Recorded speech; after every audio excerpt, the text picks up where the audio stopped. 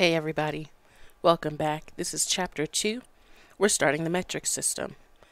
I break up this chapter into two presentations because, quite honestly, it's a pretty big chapter. It's all math, so it's better to break it up, give you a little break, and then in class, we also break it up into two weeks. So the first week, we're going to talk about the metric system and we're going to talk about percentages. The second week, we're going to also talk about, you know, a little bit of a recap of the metric system, along with some other concepts like density and volume that will also reach back into our knowledge of the metric system and some of the things that we're doing this current week. So without further ado, let's just jump right on in. Now, you've all probably seen the metric system somewhere, right? And you're also familiar with our system, the English system, which is also called the imperial system. We use the English system here in the US, but most other people use the metric system.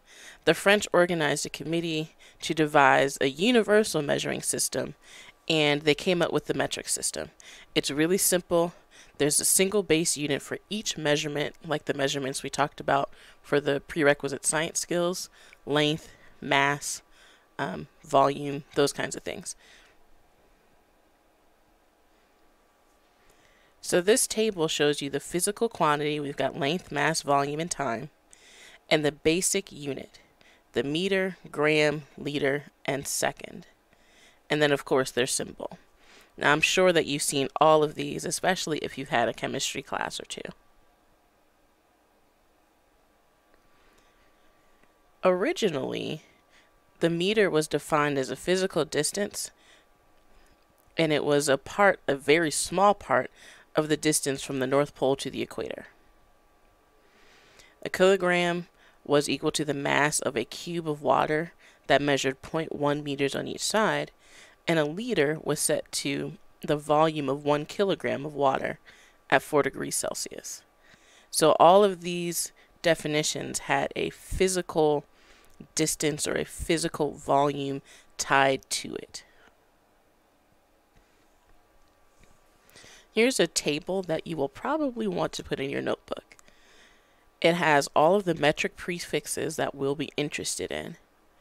For class, I will mainly focus on these because these are the ones that you will likely see when it comes to chemistry. However, on your homework, any of these on this table are fair game. And just because I said I'll focus on them doesn't mean that I can't throw something else at you. Now, don't worry. For the exam, you will have access to this table. But the table won't do a whole lot for you if you don't know how to use it. Let's talk about the table. The first column tells you the prefix. Now I told you that each of these has a basic unit, the meter, gram, liter, and second. The prefix goes in front of that basic unit and it's like a multiplier. So if you have a kilogram, you're looking at what a kilo is, which is a thousand or one times 10 to the third. So you're saying 1,000 times the gram. Okay. With the prefix that's smaller, so let's say something like milli,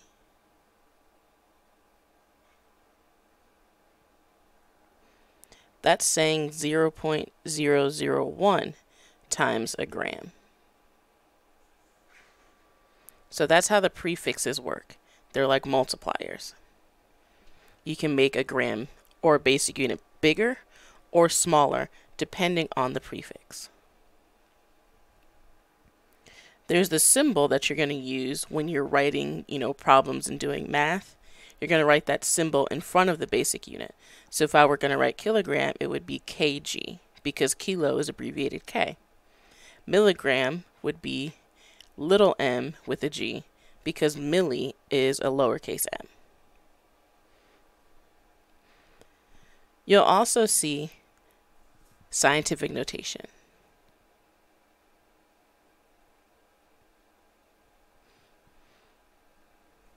In my opinion, that is the easiest way to write these numbers, especially when we start doing problems. But it's totally up to you. If you like to see the regular numbers or the decimals or the fraction, whatever works for you, that's what you use.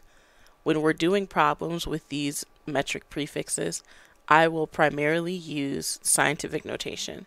I think it's good practice. And also, again, to my mind, it is easier. But if it's not easier to you, don't be afraid to speak up in class or to come to office hours and ask for help using a different method because I can teach that way too.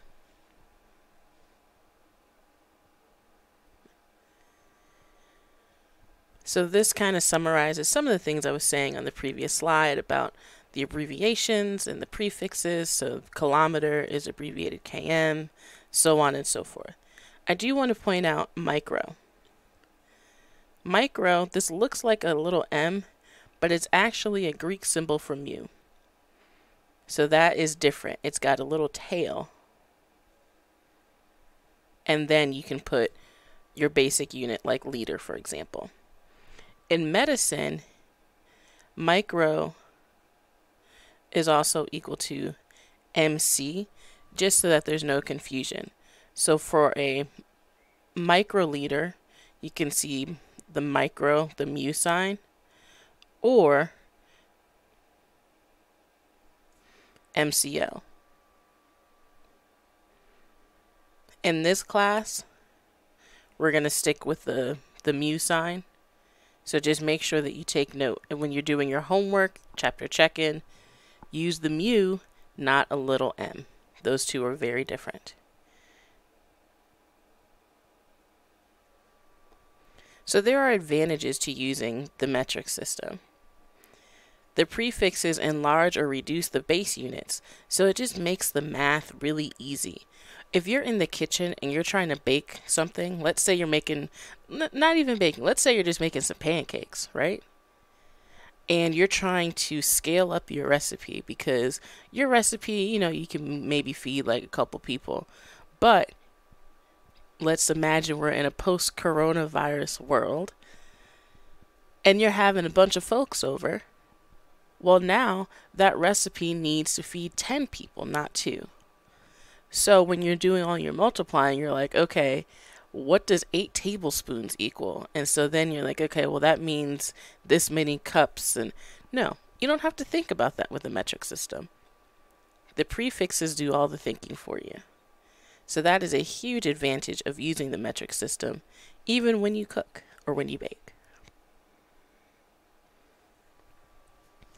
So, to do conversions within the metric system, we use what's called a unit equation.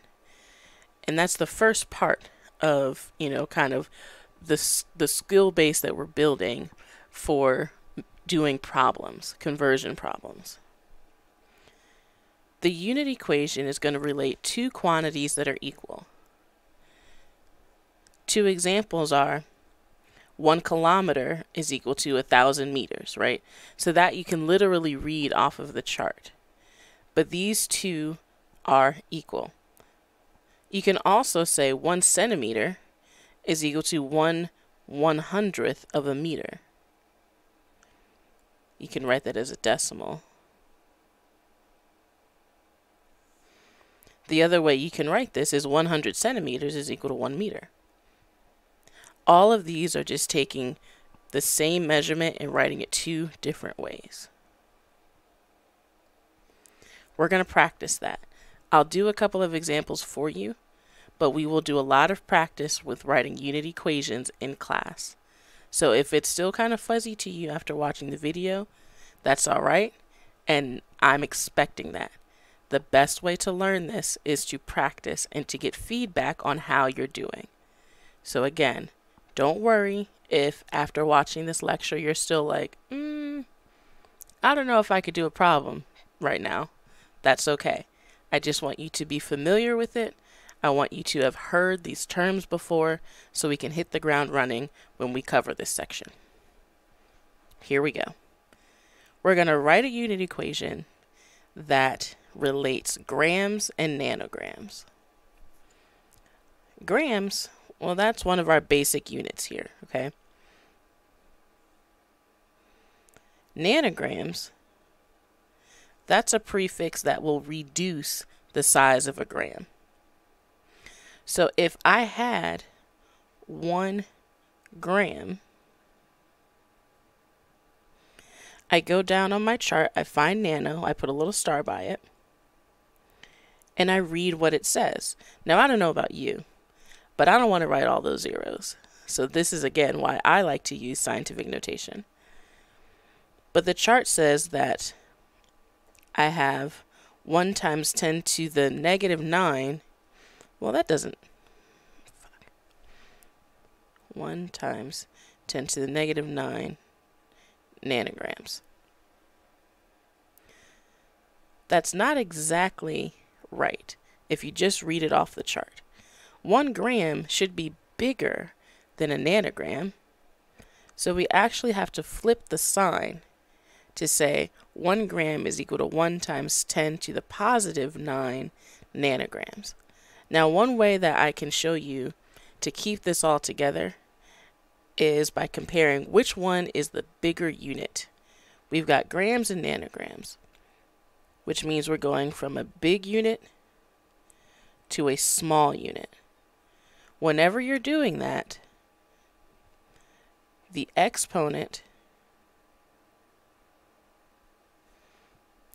is positive. Okay. So we're taking one gram and going to nanograms. Grams are bigger than nanograms. So when you're writing how many nanograms are in a gram, the exponent in the scientific notation should be positive. Let's do that again. We've got kilometers and meters.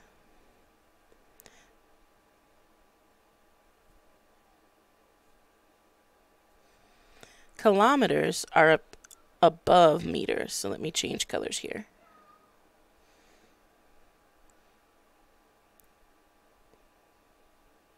So a kilometer is big. The meter is small, and this is all relative. If I have one kilometer,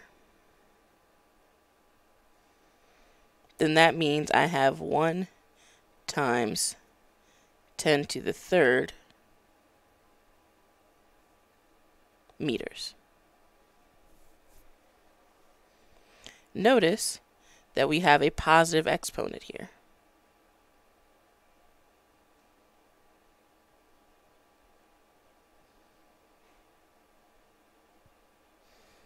But what if I wanted to do it the other way?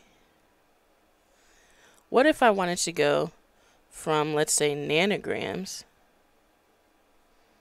to grams. Nanograms are smaller.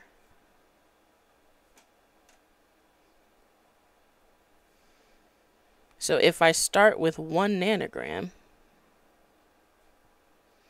I'm going to have a very small number for grams.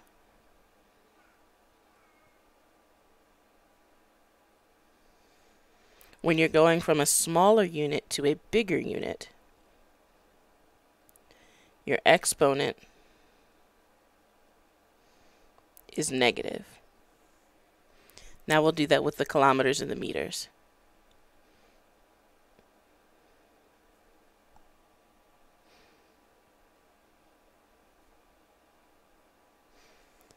If I had one meter,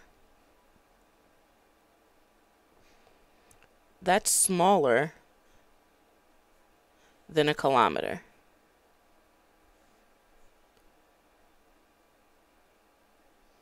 My exponent has to be negative.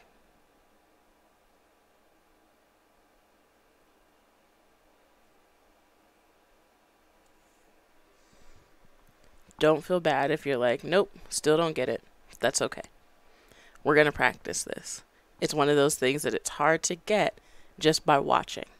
You have to do some examples and ask some questions, get some feedback, and then you'll get it. I promise.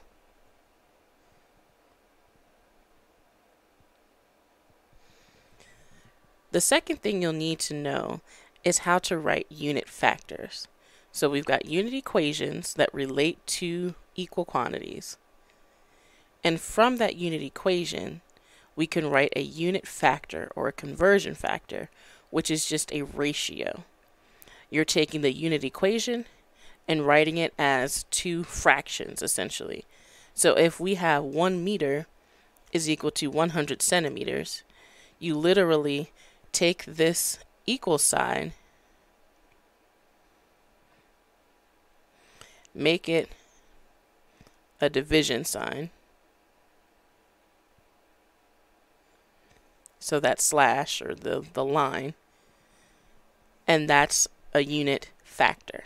Okay, unit factors look like fractions. If I were to say take from our last one, 1 nanogram is equal to 1 times 10 to the minus 9 grams, we can do that too. You write the 1 nanogram over 1 times 10 to the minus 9 grams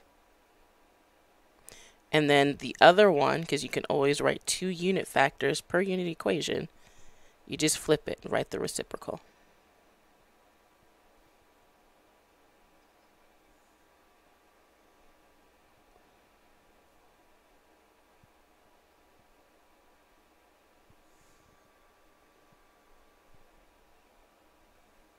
Now let's do some practice writing unit factors is pretty simple, so I would recommend pausing the video here and writing out the two unit factors that you can get from each of these unit equations.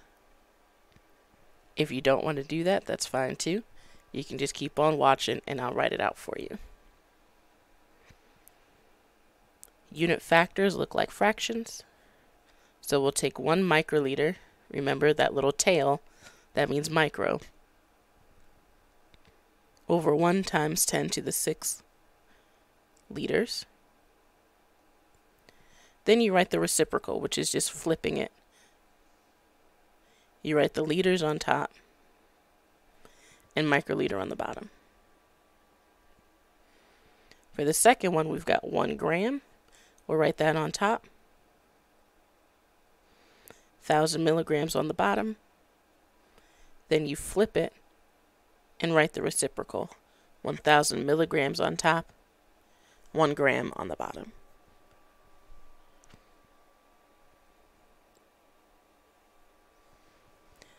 We can use the unit equations and the unit factors to convert from one metric unit to another.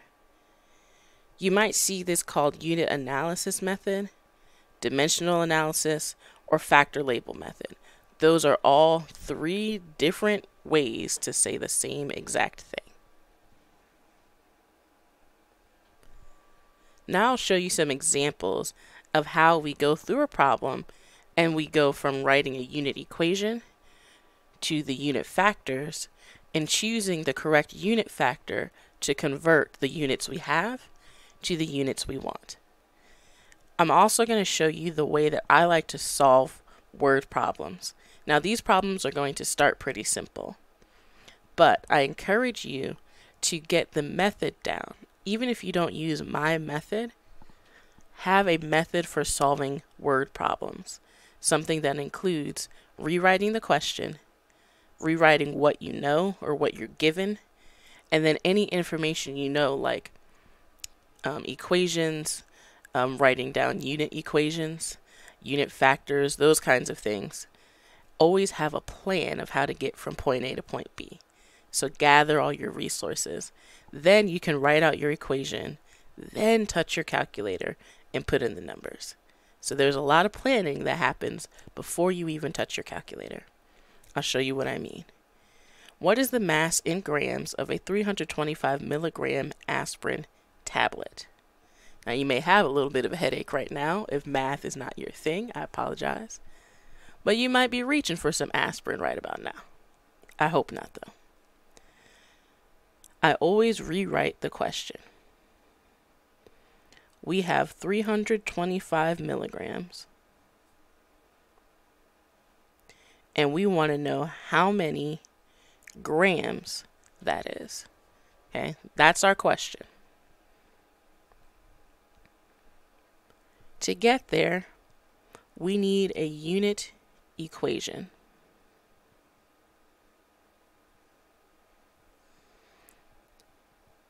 We need to relate milligrams to grams. Now you can use the chart. I've been doing this for quite some time, so I know a lot of these just they're ingrained in my in my brain. But don't feel bad because you have to look it up. You should. You haven't been doing this for a very long time. Now I know how milligrams and grams are related. If I have one milligram, that's the same thing as saying 1 times 10 to the minus 3 grams. Because milli reduces that size of the gram. So it's small to big. Okay. And I'm going to show you how to do this two ways. That's why I'm leaving half of the half of the slide here blank. We're going to go through do it this way, and then I'll show you another way to do it. Now that we've got our unit equation, we need unit factors. That's taking our unit equation and writing it as two fractions, or ratios. One milligram on top, 1 times 10 to the third grams on the bottom, or we can have the grams on top, milligram on the bottom. Now we set up our actual equation. We've got 325 milligrams. We need to choose a unit factor that's going to convert our milligrams to grams. In order to convert from milligrams to grams, we need to cancel out the milligram unit. When you have one unit on the top and one on the bottom, you can cancel. And that's why we're using the second unit factor.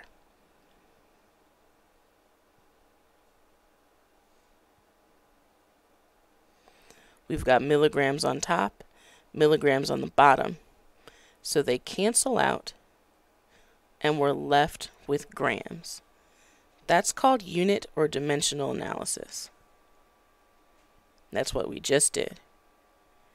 Once you make sure that your units cancel the way that you expect them to, and you double check to make sure the unit you have left is the one that you want, which we look at the question, yes, we're looking for grams. Now you can go through and do your math.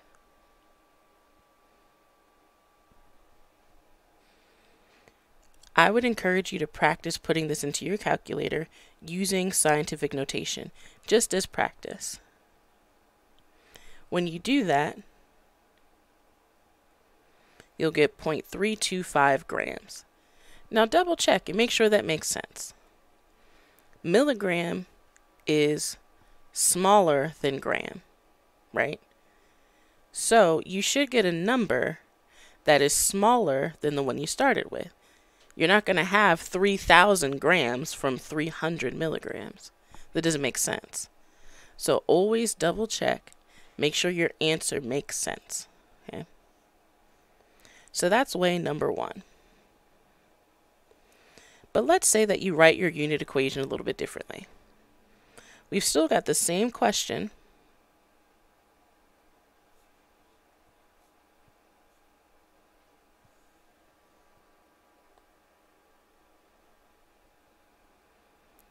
But instead, what if we said 1 gram is equal to 1,000 milligrams? That's true.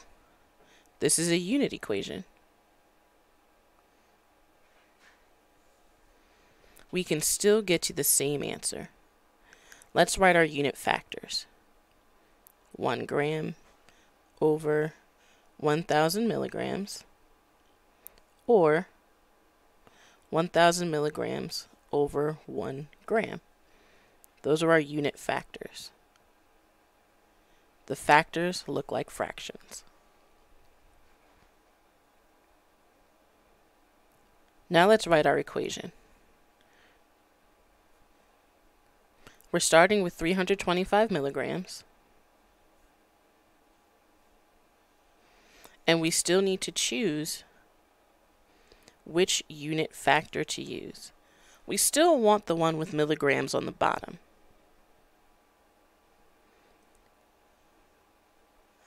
We need to cancel those milligrams.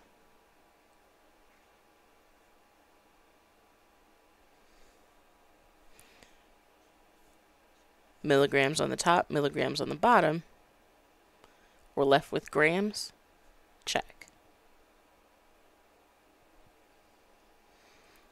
But this time, when you're putting it into your calculator, instead of using scientific notation, you're taking 325 and dividing it by 1,000, which is the same answer.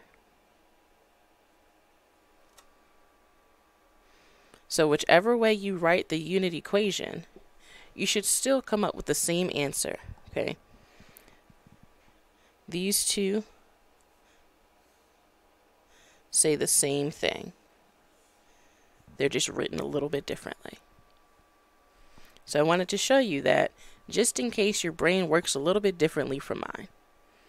But for the most part, I'll be showing you this way. Okay? That's just how my brain works. With that said, here's the official slide on how to do the unit analysis method. I already went through it and showed you what it is, and I think that's more valuable before you actually get the text on how to do it. If this is your jam, if you like to read the steps and follow them, here you go. This is for you. I, however, learn by watching someone do it and then trying it myself. So I'm trying to accommodate everyone because all of y'all are not me. And that's a good thing. We need some diversity. All right. So, when you're using this method, what's what they encourage you to do in the textbook is to write down the unit asked for in the in the answer. That's the same thing as saying reword or rewrite the question. Then you're going to write down the given value related to the answer. So in our last example, we were given 325 milligrams, right? So you write down the information that is given to you.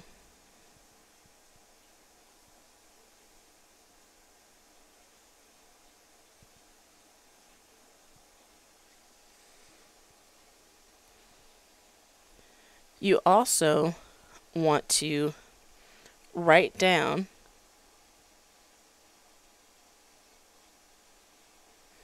your unit equation here. So you can relate the two, what you're given and what you're asked for. Once you've got all that information together, you write out your equation,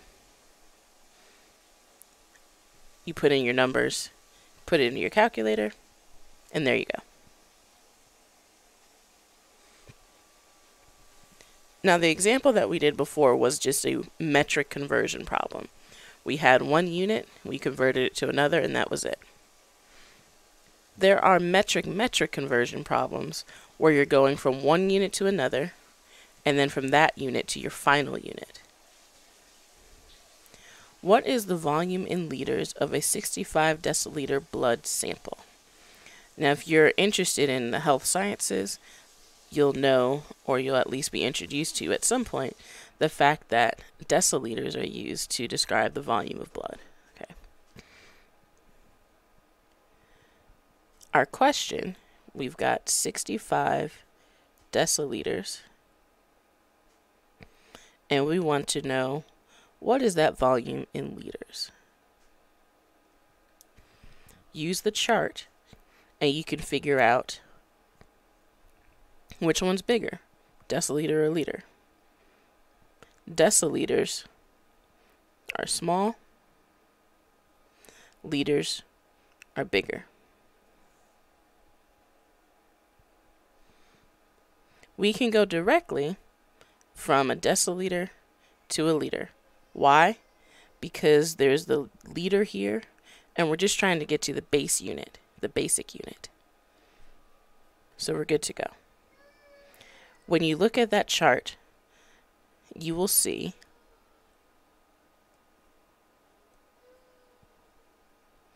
if I have one deciliter, then I have a tenth of a liter. So that's 0.1.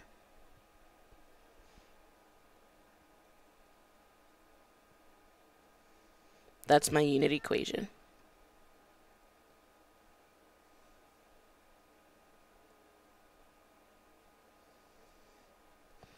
When I write this as a fraction, those are my unit factors.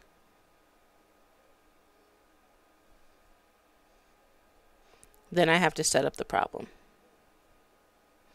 I'm starting with 65 deciliters. I need to have a unit factor that has deciliters in the bottom to cancel it.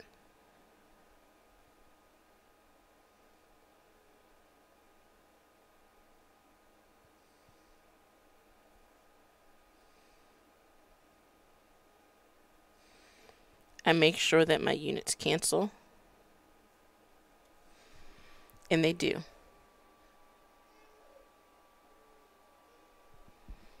Now all I've got to do is the multiplication. Sixty-five deciliters is the same as six point five liters. Now I'll do it again just to show the different way with the different unit equation. It's the same thing. We're writing it the same way. It's just that the unit equation looks a little bit different. If I have one liter, then that means I have 10 deciliters.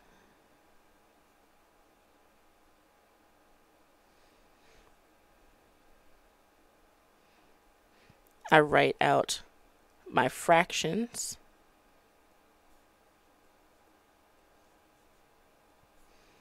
Those are the unit factors. And I set up my equation. Still need the one with deciliters in the bottom because we have to cancel.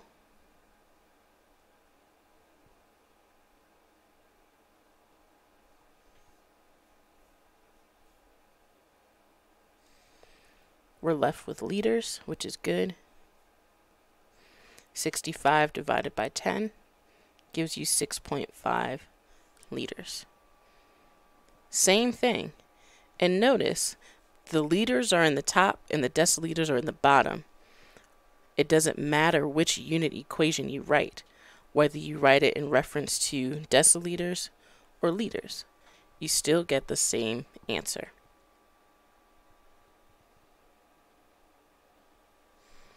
Now let's do those two metric metric uh, uh, conversions that are a little bit peskier, okay? I alluded to that earlier, that we can do the single ones, but we can also build on top of that. A hospital has 125 deciliters of blood plasma. What is the volume in milliliters? Uh-oh. Here's our given. And we're trying to figure out what that means in milliliters. Noticed how each of the units that were given has a prefix. We can't just go from deciliters to milliliters. We've got to use a go-between.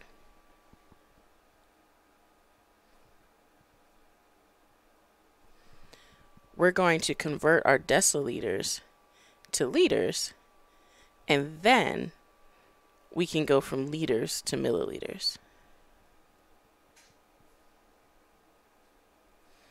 So the two metric metric conversions, it's like doing two single metric metric conversions, okay?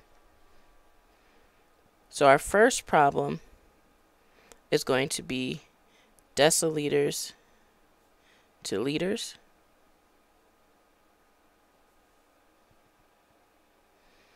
And then our second problem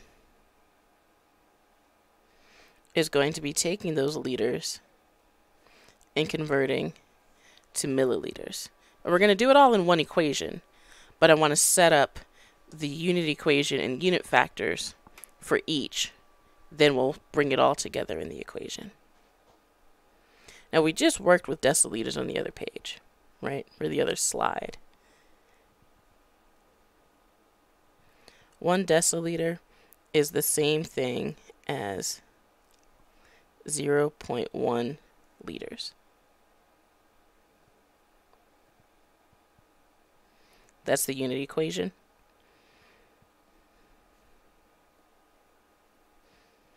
And then we write our unit factors.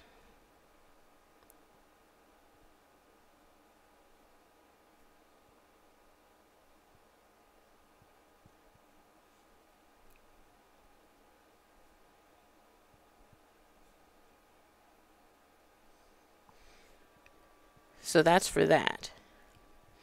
Now we've got to worry about getting from liters to milliliters. Liters are bigger than milliliters. So if I have one liter and I use my chart, I have to have a positive exponent here.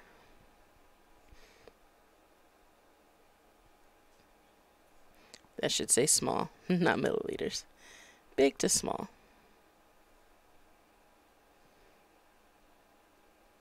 Positive exponent. Okay.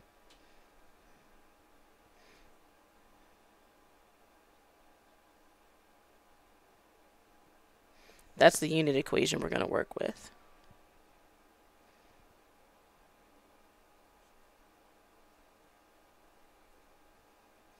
Then we write our unit factors.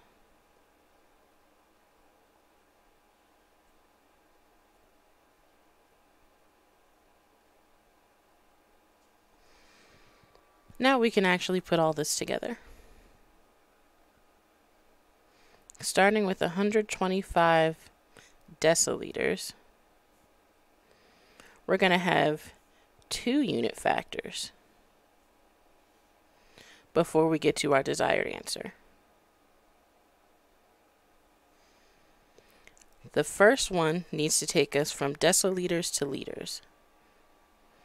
That means we need deciliters in the bottom to cancel.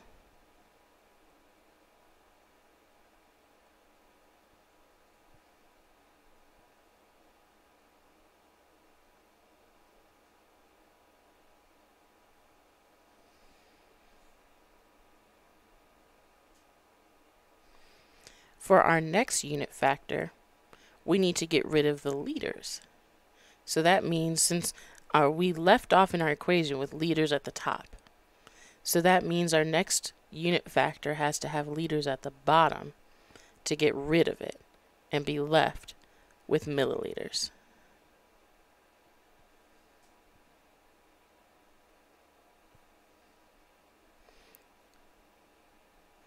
All right, so we've canceled out our liters.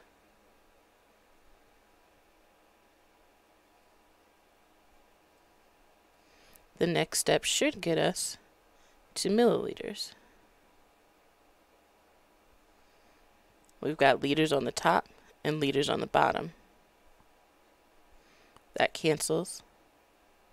We're left with milliliters. Now you just have to do the math. When you're putting this into your calculator, remember that these unit factors are fractions. And if there's a number on the bottom other than 1, you have to divide. In this case, we don't have that. We've got 125. You're going to multiply by 0.1, divide by 1, then multiply by 1 times 10 to the third, which is 1,000, and then divide by 1. But dividing by 1 isn't going to change the answer, right? When you do all that math,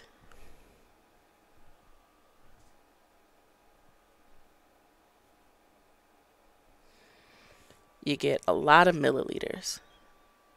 But let's say we wanted to write this in scientific notation. Why not, right? We can. We write our coefficient, which is at least 1, but less than 10. And if we put our decimal here, we need to get all the way back to the end. One, two, three, four.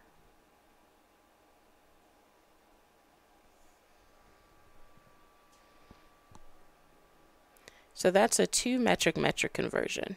We started with one unit that had a prefix, and we need to get to another unit that had a prefix. That's when you know you have a two metric metric conversion on your hands. We will do more of these problems in class, so don't worry. I'll give you one more example of a two metric metric conversion before we move on. This time, we're looking at the mass of the moon. The moon is about 7.35 times 10 to the 22nd kilograms, which in my brain, that's just inconceivable. I don't even know what that means. Okay. What is the mass expressed in nanograms? Again, we've got two different prefixes. So we have to do two metric metric conversions our question, we're taking the mass of the moon in kilograms and figuring out what ridiculously large number of nanograms that would be. We can't go directly from kilograms to nanograms. We need to use grams as a go-between. So we're going to have two unit equations and two sets of unit factors before we can set up that final equation to get us from kilograms to nanograms. First, we're going from kilograms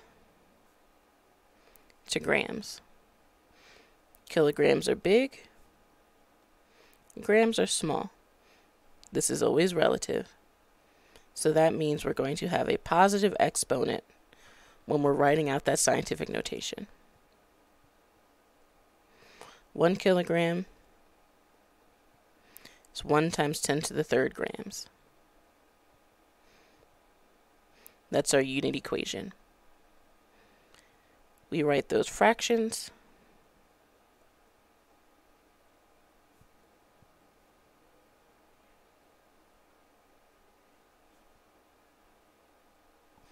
and those are our unit factors.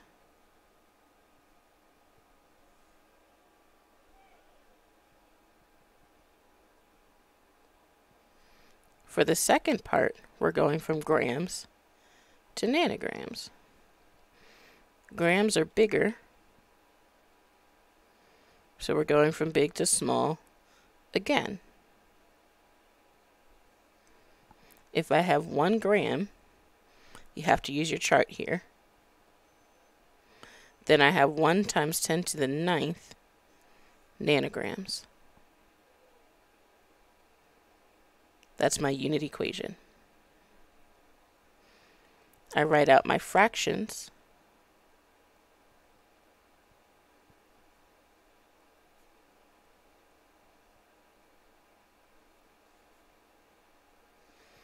And those are my unit factors. Now, I usually get asked, do I have to write out both of the unit factors? Do I have to write out the unit equation? The answer is you should. And the reason is you, you don't want to get too full of yourself and think, oh, I'm just going to write out the equation. Because it's very easy to write a unit factor upside down. It's very easy to think that you know how to convert from grams to nanograms and you write the wrong thing. Writing out each of these steps gives you more opportunities to catch those little mistakes that can cause you points at the end. If you choose not to, that's on you. When you do a chapter check in for me, You need to show me your work. I will take points off if you do not show me your work. So in that case, you do have to. Well, you don't have to, you just won't get as many points, right? But it's just recommended that you do because good bookkeeping will help you tremendously in this course. Okay, off the soapbox. Back to math. Now we're going to set up the equation.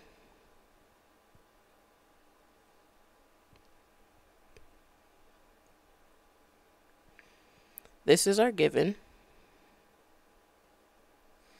7.35 times 10 to the 22nd kilograms.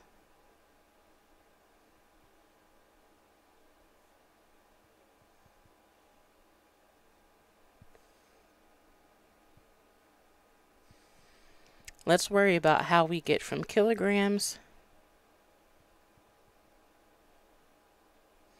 to grams for this first unit factor. That means we need to have kilograms in the bottom so that it cancels.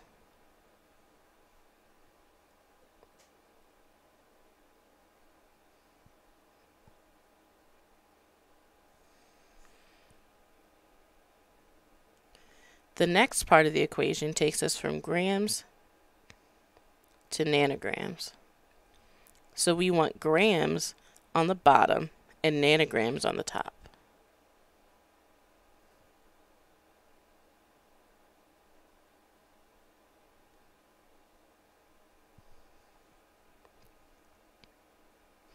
Now we go through and make sure that our units cancel the way we expect them to. With our little plan, we know that we should get to grams first, and we do.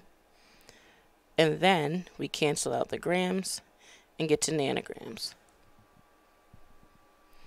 Now that that's done, we can do the math. So know how to put in scientific notation into your calculator. If you don't know how to do that, then you will have a very difficult time putting in this number 7.35 times 10 to the 22nd because you'll have to put in all the right number of zeros. Now, once you do that, you should get this answer.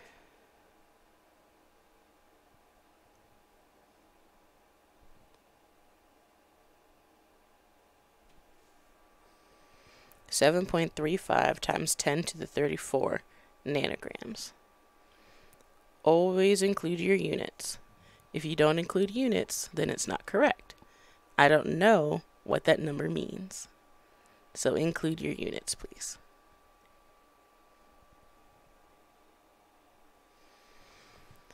Now, kind of a spin-off of the metric metric conversions is compound units. All right, we can do calculations with compound units. Some measurements have a ratio of units. And an example of that that we all know is the speed limit. In the US, it's miles per hour. Pretty much everywhere else, it's kilometers per hour. Okay. When you see that, it's the number of miles for every hour. Okay. So that is a compound unit. Let's do a compound unit problem. This is where we're trying to take one unit, like kilometers per hour, and convert it to meters per second.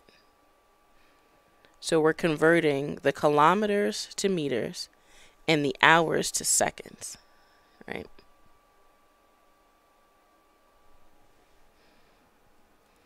We do the same exact method.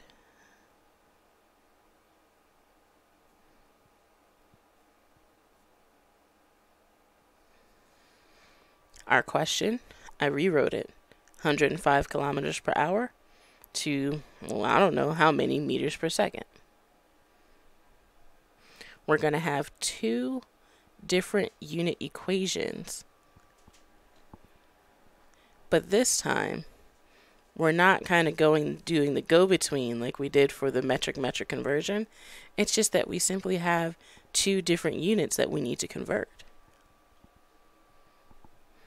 We'll deal with kilometers to meters first.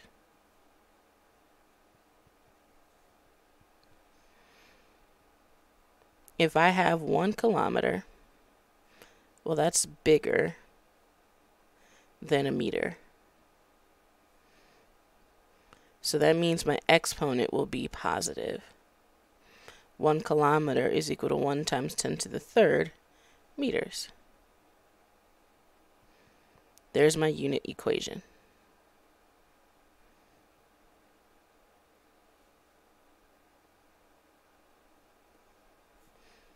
Here are my unit factors, which look like fractions.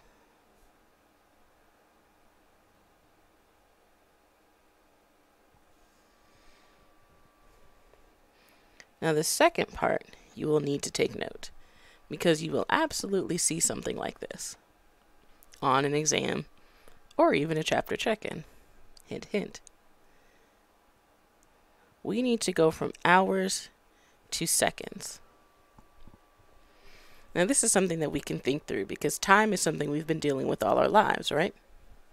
If I have one hour, then that means that I have 60 minutes. And in each one of those minutes, I have 60 seconds. So if I want to go from hours to seconds, I have to work through two, I have to work through minutes, right? So my unit factors for this top one are one hour over 60 minutes and 60 minutes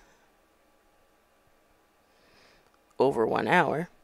And for the bottom unit equation, we've got one minute for every 60 seconds. And then we write the reciprocal. Now we're finally set up to put an equation together.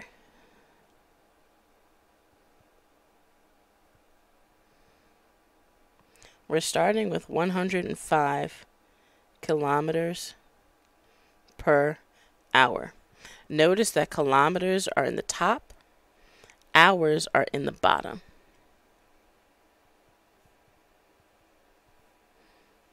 The first thing we'll deal with is converting from kilometers to meters. Kilometers are in the top. To cancel that out, we have to have a unit factor with kilometers in the bottom.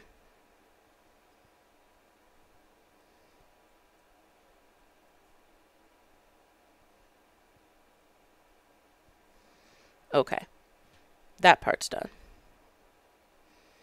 Now we've got to worry about the hours. The hours are in the bottom. To cancel out the hours, we need to use the unit factor with hours in the top. So we go on over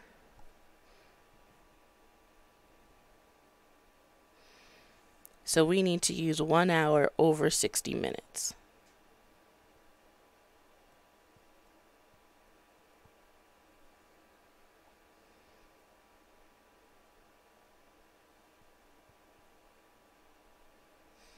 But we're not done yet.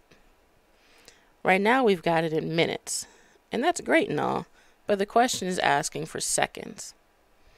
To cancel out the minutes and be left with seconds on the bottom, We need minutes on the top.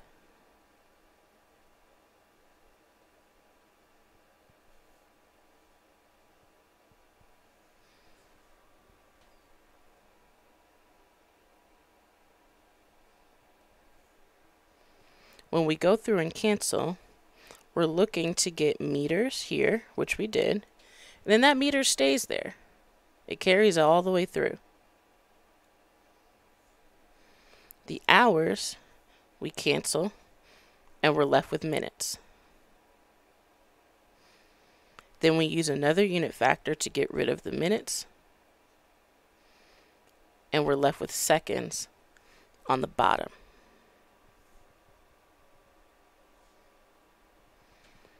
Once you've double checked that, you can do your math, but be careful here. You're multiplying and dividing. So you're multiplying 105 times 1 times 10 to the third, that's a 1,000. Then you're dividing by 60 and dividing by 60 again. You can't forget that division there. If you do, you'll get the wrong answer.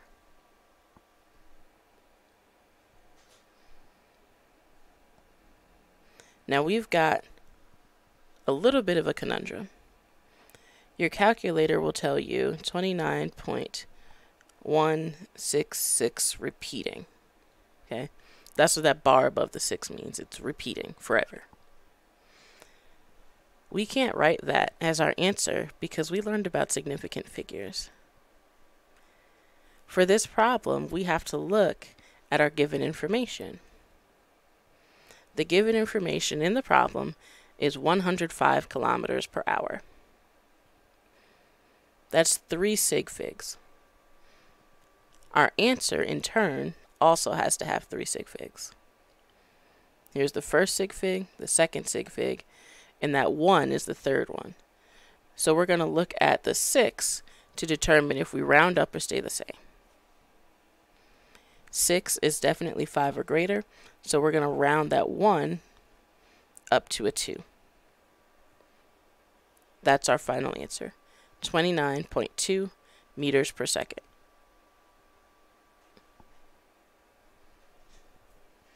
You will see a problem like this.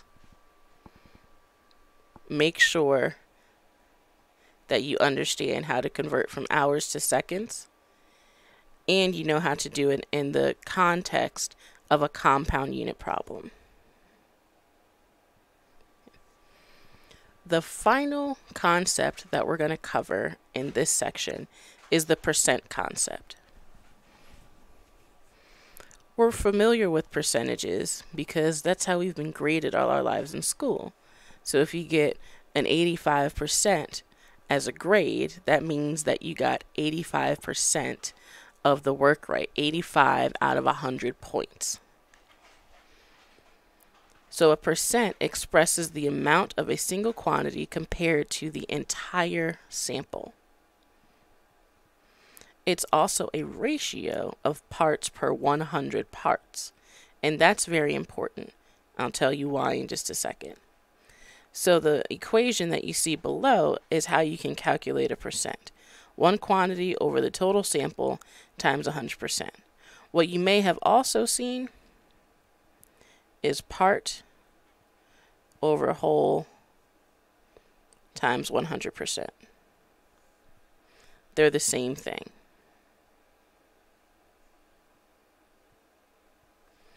Let's do a sample problem. Bronze is an alloy of copper and tin. That means it's a combination of these two metals. If a sample of bronze contains 79.2 grams of copper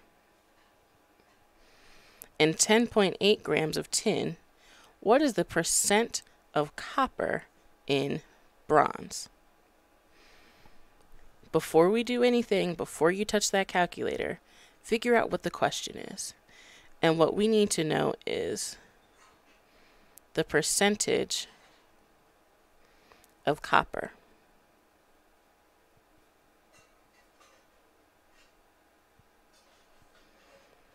Since we're dealing with percentages, we should write out whatever equations we know that relate to percentages. I'm going to use the part over the whole.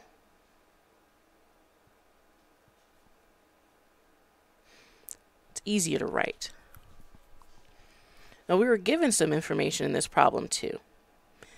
We were given the parts and the whole. So the whole is bronze, which is the sum of the copper plus the tin. That's our whole. We know that there's 79.2 grams of copper and 10.8 grams of tin.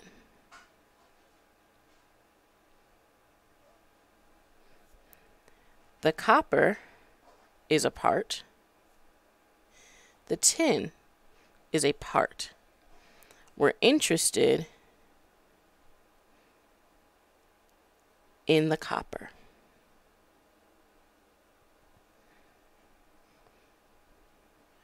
So let's write a little bit more of a specific equation. Percent copper, which its element symbol is Cu, is equal to the number of grams of copper that we have over the total number of grams of bronze. And we multiply that by 100%. Now we can fill in some numbers. The amount of copper, we were told, 79.2 grams.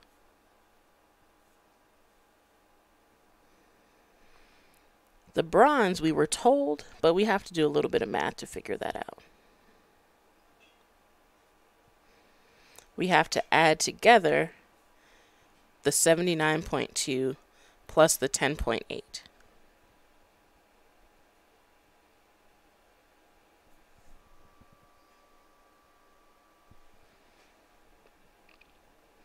Now you can touch your calculator. If you touched it before now, you're in trouble. When you add 79.2 plus 10.8, you get 90 grams. So that is our whole. Now we can figure out that percentage by doing 79.2 divided by 90 and multiplying by 100. Don't forget the multiplying by 100 because it won't be a percentage. It'll be a decimal.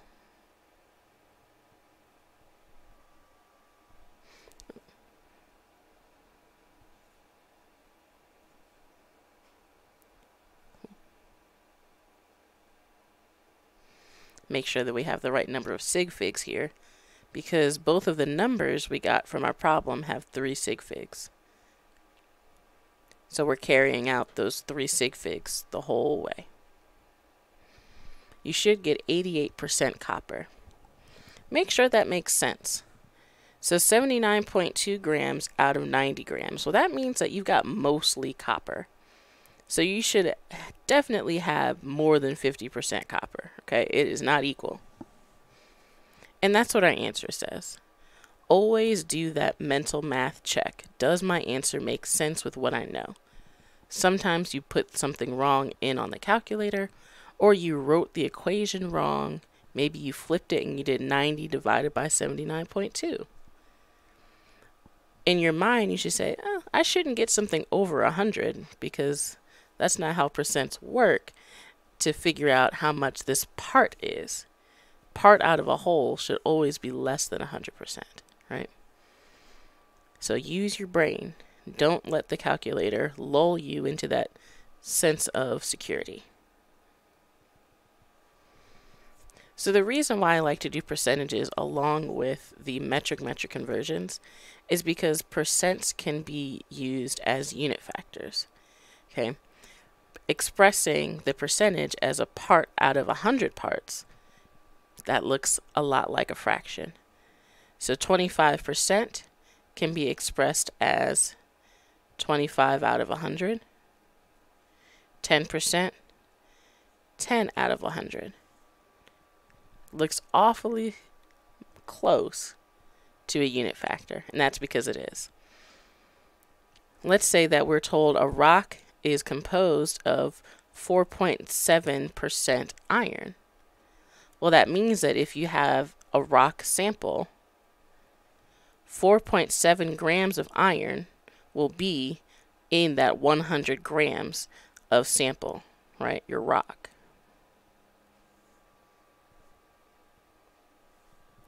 Let's do a problem like that.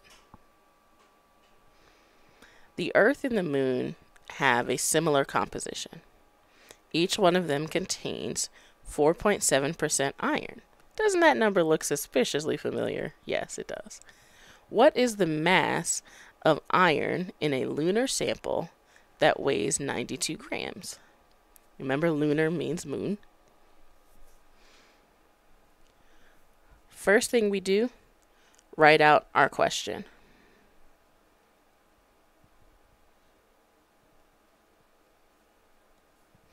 We're looking for the mass of iron in 92 gram rock sample.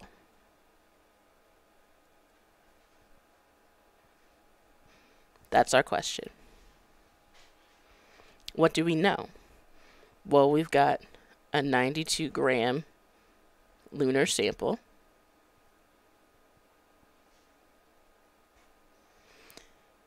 And we're going to label that as our whole.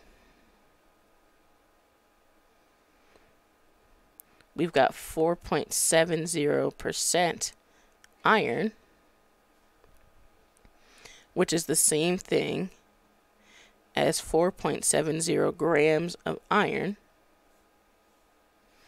out of 100 grams of sample.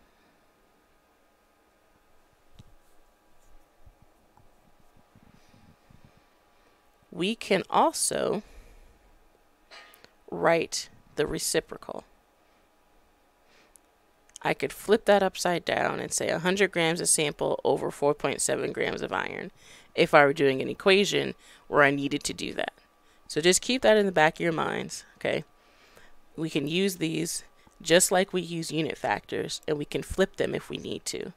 That will come into play in the second part of chapter 2, which hopefully you will watch. Back to our currently scheduled programming. 4.7 grams of iron over 100 grams of sample. I've got 92 grams of sample.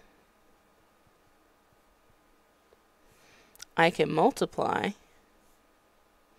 4.70 grams of iron over 100 grams of sample. Now watch the units. Grams of sample cancels. Grams of sample cancels. Our units are grams of iron. That's what we're looking for. Just because the units cancel doesn't mean that the numbers do. When you put this into your calculator, you're multiplying 92 times 4.7 and dividing by 100.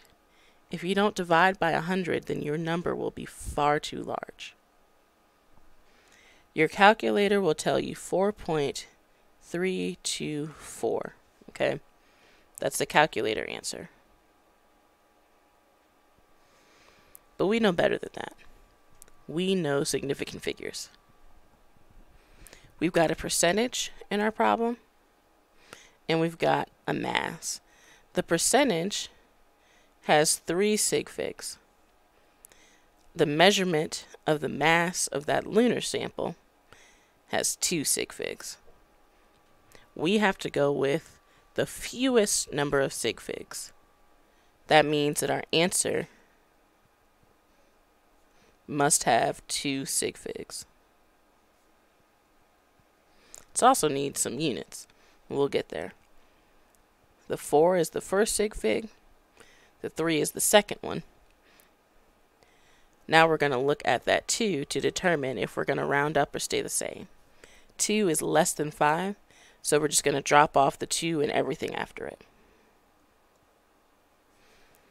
And then our units. Grams of iron.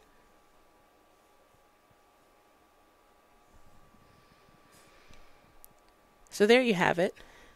That's percentage as a unit factor. We will do calculations like this in class, so don't worry. We'll be doing a lot of practice problems in class. It's not going to be very lecture heavy. So make sure that you have a calculator, a notebook, or some kind of piece of paper or something to write down what you're doing. Because these sample problems that we do in class will absolutely help you with doing your homework.